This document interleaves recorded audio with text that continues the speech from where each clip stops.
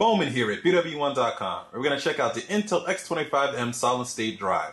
This particular solid state drive we have from Intel is the 80 gigabyte version. This is supposed to be their sort of mid mid mid range one between 160 gig and the 40 gig. This is supposed to be sort of the sweet spot in this series here. It's supposed to give you the best performance at the best value. This is the 80 gig version, like I said before. And we're going to do a quick unboxing to check it out. So, all right, there we go slides out like that. First thing here is a nice little, see here's a big caution on the drive here. We'll check that out in a second. Open it up. Get a nice My SSD Rock sticker. This looks like to be some directions and warranty information here. You have a nice little installation guide on CD here. And they give you a nice mount here to mount it into a 2.5 inch disc a 3.5 inch disc rather. So this mount here will allow you to install it into a desktop here and they give you the screws available to do so. So if you're going to use it in a desktop, you can convert it from 2.5 to 3.5 inches. If you want to use this, you want to use something a little, little more sophisticated, definitely check out the video I did on IcyDock, which is another, another tool that you can use as well that'll take it from a 2.5 to a 3.5 inch size to use inside a desktop. Alright, so check out, that's pretty much the accessories there. Just carefully open up the drive here, kind of take a quick tour around.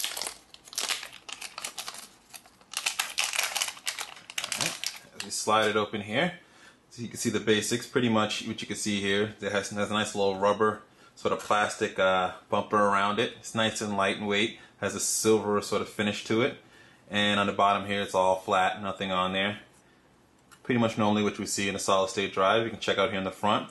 You have your serial ATA connections, your power, your data. Now that we have it unboxed here, the next thing we're going to do is we're going to install it inside a computer here and we're going to check out the speeds that we're supposed to get with the Intel X25M mainstream 80 gigabyte solid state drive.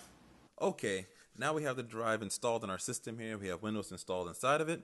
I did some benchmarking and here are the results. So I used AS SSD benchmark as the tool to do the benchmark and I'll put in the description exactly um, some rough specs of my computer. Definitely check out my video where I kind of described uh, what's in my computer fully and um, also description of sort of how AS SSD benchmark kind of runs their benchmarking test. That'll be all in the description. So just take a quick look here. Um, we'll go over some of the some of the um, the um, stats here. We have sequential read at about 250 251 uh, mega, megabytes per second on the read and on the write 79.48. Um, we have 4K at 23.17 megabytes and the write at 47.32. We have read at at 4K with at 64 threads at 150.73 and write at 57.30. Access time is about 0.2 0.121 milliseconds, and write for that is 0.093 milliseconds. So, um, pretty fast drive here, as you can see. Um, but um, that's just kind of giving you sort of a rough estimate of test. What I liked about this test, it does give you a copy benchmark test, which kind of simulates kind of how the drive is really going to work for you. So in these tests, um, what it does is kind of create an ISO to copy over and stuff like that. And that, that ran at 159.03 megabits per second for speed, duration about 6.75 seconds. Program is 101.35 megabytes per second at 13.88 uh, seconds for duration and games where it kind of simulates sort of a randomized read and writes and stuff like that. Basically, how the system is really going to work. We got it at 158.84 with a duration of about 8.69 seconds. So those are the specs right there for the Intel X25M.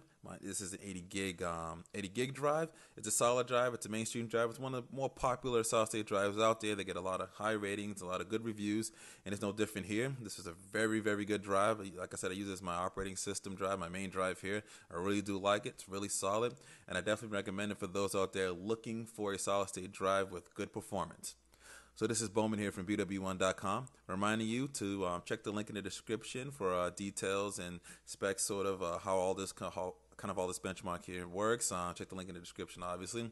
Follow us on Twitter, subscribe to our YouTube page here, and always remember to live your tech world in high definition.